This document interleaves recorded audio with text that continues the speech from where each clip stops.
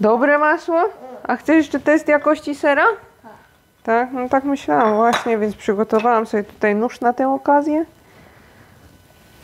Serek jest lepszy niż masło, znaczy no różnie ludzie uważają. Siemanko, witajcie na kanale Pierogi z Kimci w kolejnym odcinku. Jak widzicie testowanie produktów trwa tutaj w najlepsze i nie pozostaje mi nic innego jak zabrać się do pracy szybko, dopóki jeszcze mam składniki.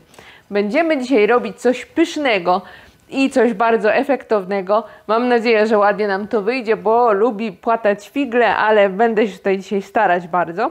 Będziemy robić kotlety. Kotl... Tak, schabowe. Ale to będą specjalne kotlety schabowe, nie takie jak nasze polskie schabowe, które też są bardzo dobre. Będziemy robić kotlety koreańskie, które nazywa się dongasy. Możecie znać też ich y, japońską wersję, która nazywa się dość podobnie. Te nasze dzisiejsze dongasy będą z serem. I dlatego to wygląda właśnie tak efektownie, bo mięsa naokoło jest nie aż tak wiele, ale sera w środku jest sporo i to właśnie robi cały efekt. Więc mam tutaj przygotowane składniki. Przede wszystkim najważniejszym składnikiem będzie schab. Ja już mam tutaj schab w plastrach, jakieś małe te plastry, więc trzeba będzie mocno tłuc. W Polsce też taki schab często jest dostępny już w plastrach pokrojony. No ten jest jakiś wybitnie mały, może zaczniemy od większego. Potłukę sobie mięso i będę do niego wsadzać ser. Mam tu taki ser mozzarella całkiem spory. To jest taki odwodniony ser mozzarella. Nie wiem, czy taki ser w ogóle dalej można nazywać serem mozzarella, ale świetnie nadaje się do takich kotletów, bo się dobrze topi, ale nie jest taki toporny jak na przykład ser Gouda. Będziemy ten schab tłuc, potem będziemy wkładać do niego kawałek sera, potem go zapanierujemy dokładnie tak jak kotlety polskie schabowe, czyli mąka, jajko, bułka, ale ta bułka dzisiaj będzie też trochę specjalna. Ja tutaj mam koreańską panierkę bangaru, która przypomina bułkę tartą i pisaliście mi kiedyś, że to jest po prostu panierka panko. Będąc w Polsce sprawdziłam, że panierka panko trochę różni się od tej koreańskiej panierki tego typu, bo to jest panierka zrobiona z słodkiego chlebka sikbang, czyli tak naprawdę czegoś podobnego do naszej chałki, masła mi ubywa.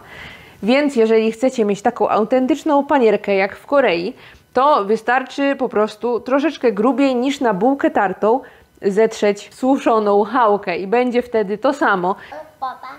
Możecie też, jeżeli chcecie użyć zwykłej bułki tartej i jeżeli chcecie, to możecie też użyć tej panierki panko, tylko ona się trochę różni. Moim zdaniem jest trochę twardsza niż koreańska taka panierka bangaru. Ta mi bardziej smakuje, ale panko też jest ok, więc tutaj pozostawiam pełną dowolność i jak już będzie zrobimy te kotlety, to będziemy jeszcze do nich robić sos. Pomocnik mi zniknął, więc ja tłukę kotlety. Tłukę na tak jakoś, żeby mi się tutaj dało zawinąć w to ser, więc trzeba się będzie nastarać. Tłukę. Byłam zbyt agresywna.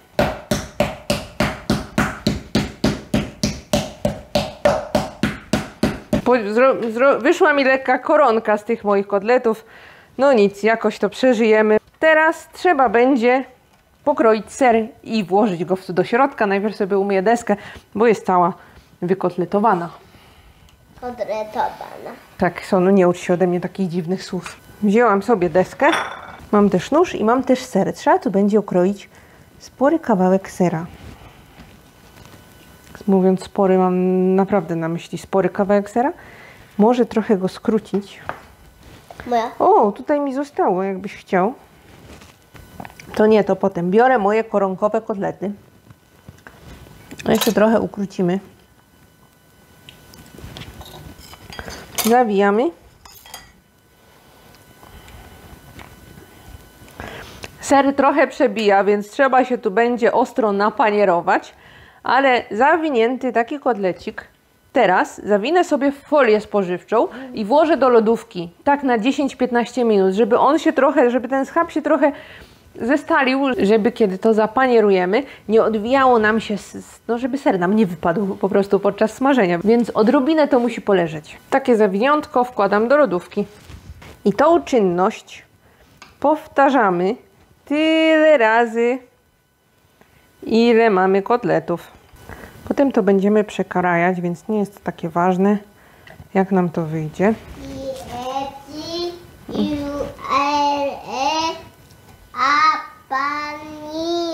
Mój pomocnik się znudził tym zawijaniem. Zostałam tutaj z połową masła, jaką miałam i w ogóle jest ciekawie, ale tak, wkładam te zawiniątka do lodówki i teraz w czasie, kiedy będą czekać w lodówce, ja przygotuję sobie sos. Ten sos, jaki będziemy robić, to jest taki typowy koreański sos do takich kotletów. On niekoniecznie idealny jest do tych kotletów z serem, bo one już same w sobie mają dużo smaku właśnie z tego sera i nawet moim zdaniem będą smaczne bez sosu, ale do takich zwykłych kotletów bez sera, takich jak nasze schabowe, ten sos nadaje się idealnie i zawsze dostaniemy go w koreańskich restauracjach z takimi kotletami, a jest takich restauracji masa. Więc tak, już tutaj sobie namieszam składniki do sosu i zaraz przejdę do patelni, bo tam będziemy go przygotowywać.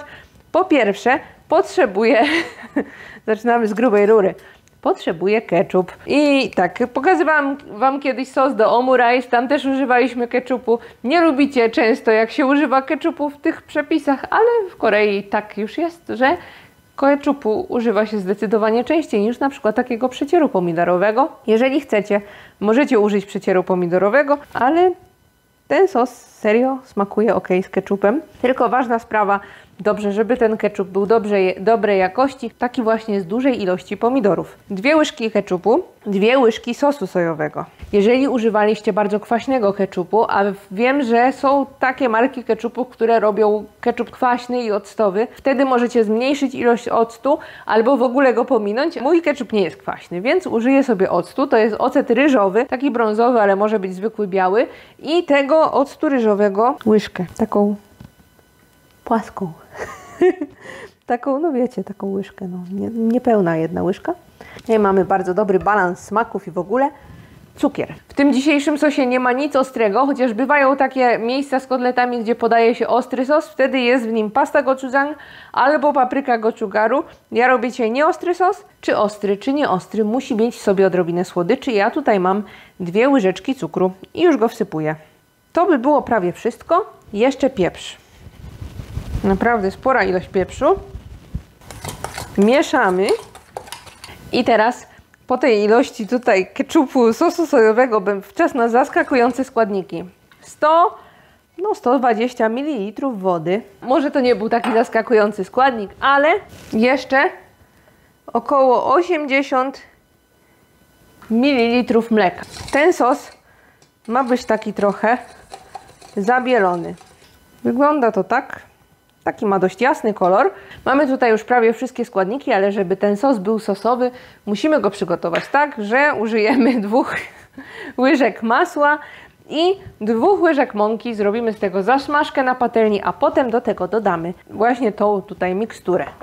Dwie łyżki masła i dodajemy dwie łyżki mąki pszennej.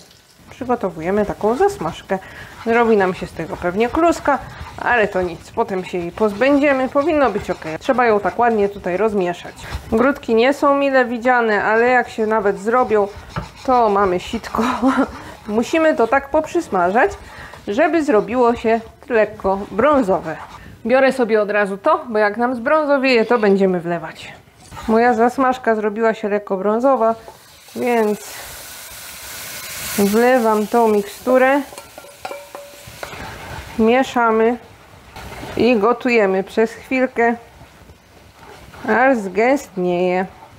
I sosik gotowy. Jeżeli macie grudki, to sitko w ruch i nie przejmujemy się.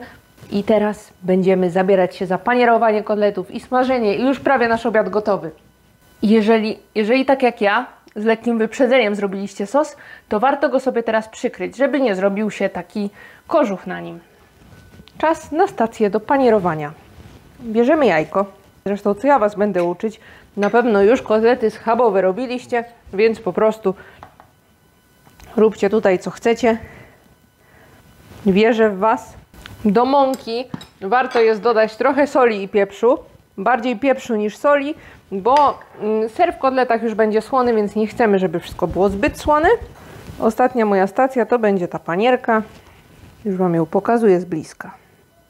Po tej chwili w lodówce kotlety trochę się zrobiły bardziej zwarte. W sensie mam nadzieję, że się nie rozwalą, nie rozwiną po, po zapanierowaniu. Powinno być ok.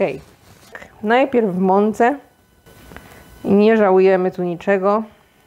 na początku mojej przygody z Koreą, jak tylko przyjechałam, to bardzo nie lubiłam tych koreańskich schabowych, bo bardzo często je jadłam, bo co się spotykałam z kimś znajomym, z kimś z pracy, to wszyscy, żeby zrobić mi przyjemność, żebym zjadła coś takiego w miarę europejskiego, zabierali mnie na schabowe. Dopiero jak odkryłam te kotlety z serem, które jednak różnią się od naszych schabowych dość mocno, to zaczęłam je lubić. Oczywiście polskie schabowe bardzo lubię, ale są takie rzeczy, które jednak najlepiej smakują w domu. Zapanierowany, no nie wygląda jakby się miał rozwinąć, ale to też tak nie można do końca ufać.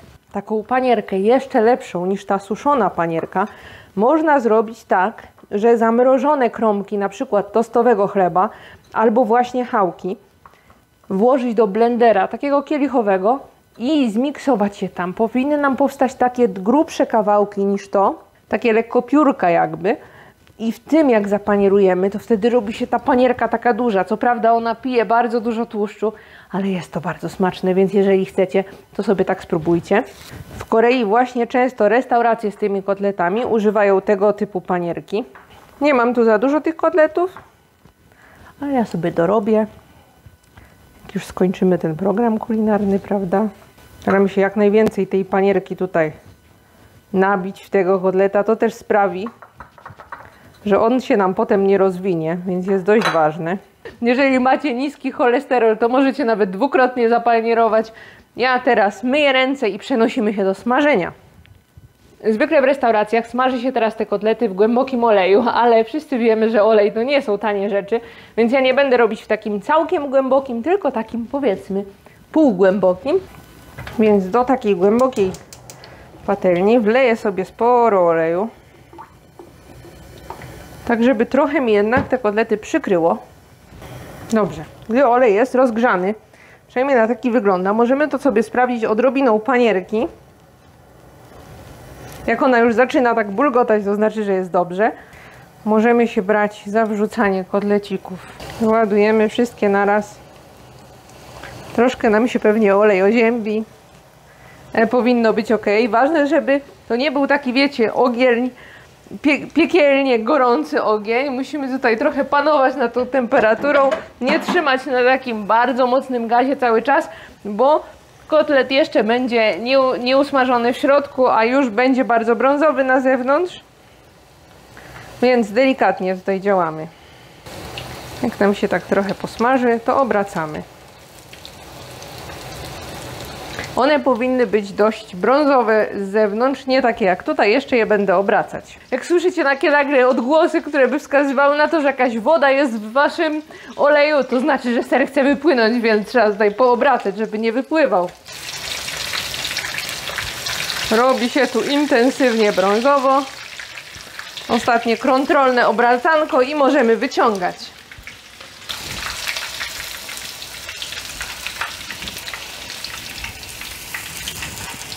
Nie wiem jak dla Was, ale mnie to zachęca. Zaraz będziemy kroić. Jak widzicie, ja tu się już lekko podekscytowałam. Szybciutko ryżyk. Mam tu taki talerz, obojętnie jaki, ale ważna jest ta kratka. Na takiej kratce zawsze podaje się kotlety w Korei, żeby niby to, żeby były mniej tłuste, że niby ten tłuszcz spłynie. No cóż, tak już sporo tłuszczy wypiły, ale fajny gadżet. Nie wiem, czy takie gadżety są dostępne w Polsce, ale w Korei są w każdym kuchennym sklepie i zwykle do tego typu kotletów w Korei podaje się bardzo małą ilość ryżu. Jak wiecie, Koreańczycy kochają ryżyk, ale z takimi kotletami jedzą go bardzo mało i to chyba ma sens. One same w sobie są już takie dość mocno zapychające. Do tego idealnie nadaje się kakdugi, czyli kimchi z rzodkiewki albo kimchi z kalarepki, które już robiliśmy. A jeszcze częściej podaje się do takich kotletów kapustę. często w ogóle bez sosu, często z jakimś innym dressingiem, na przykład tym sezamowym, którym, który robiliśmy kiedyś i do tego podaje się bardzo często tą rzodkiew tamudzi, czyli żółtą marynowaną rzodkiew. Też sobie tutaj parę plasterków ułożę i uwaga, będziemy kroić, to jest moja chwila prawdy. Musimy pokroić to tak, żeby ten cały ser nam nie wypłynął. W sensie on nie może wypłynąć od razu na deskę, więc będę się to starała zrobić tak tym nożem do chleba. O matko, jak to cudnie wygląda. I Podajemy to tak. Państwa, proszę ten ser zobaczyć, czy Wy to widzicie. Ja już się już bardzo tutaj jestem podekscytowana. Ser. Jakiś rzut z góry na ser tu trzeba zrobić. Nie wiem, czy to przez to mieszkanie w Korei ten ser mnie tak cieszy. Czy o co chodzi?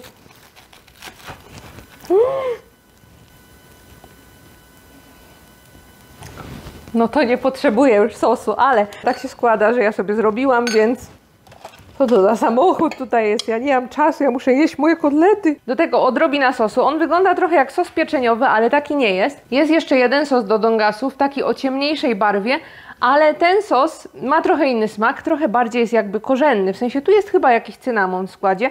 Niektórzy go bardzo lubią, inni lubią bardziej ten tradycyjny. Ja oba lubię bardzo.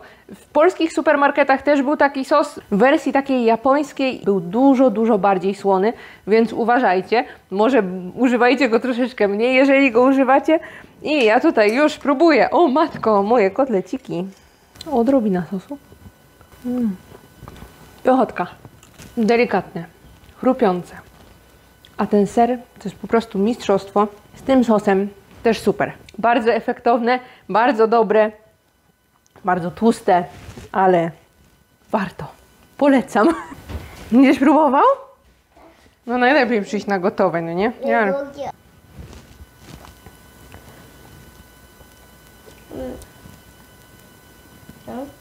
Mm? A co to jest? Sosik. Mm, sosik. Chcesz spróbować? Więc my tu zostajemy z kotletami i z sosami. I bardzo, bardzo, bardzo polecam Wam ten przepis. I mówimy Wam Popu. Pa, pa. Oczywiście subskrybujcie, klikajcie łapki w górę. I koniecznie zróbcie sobie takie kotlety w domu. No to pa, pa.